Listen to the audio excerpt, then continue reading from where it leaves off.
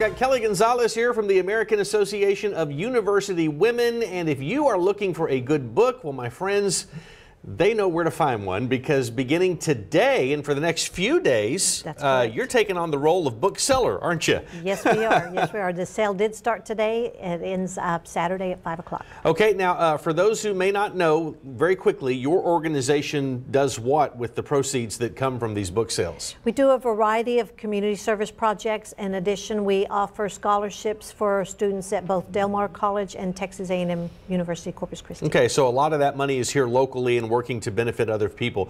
Now, the way that you do these sales, I understand, is you, you rely on donations, don't you?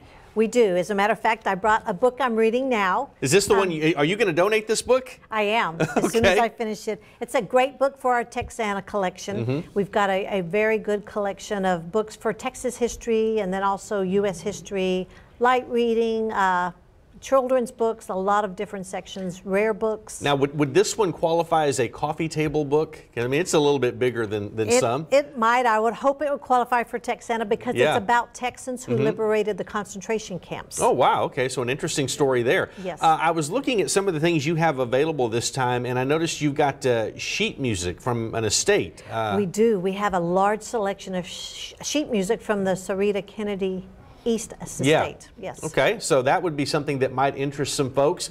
Uh, and if people are saying, well, I'd like to get some books, but you know, price, it's prohibitive. I can't do it. Not at this sale. Not at this sale. We start at a dollar, mm -hmm. And most of our books, ten dollars would be the, the tops. Yeah. We are we are negotiable on some. If somebody comes in and says, "I really want this, would you take this?" Sure, but our, if I but if I come in with five dollars, I could potentially walk out with five books, or a sack if I wanted of books. to, or a sack of books. Okay, so there's all kind of things that you could do there. That's now correct. we mentioned it began today. Where are you having this at? It's at the Neyland Library, which is 1230 Carmel Parkway. Mm -hmm. um, Friday, Saturday, Thursday, Friday, Saturday from 10 o'clock to 5 o'clock. Okay, 10 to 5. So you've got plenty of time. Uh, if you can't get out there today, go Friday, go out there Saturday, and uh, you guys try to replenish that stock every day and just make sure there's plenty of books out there.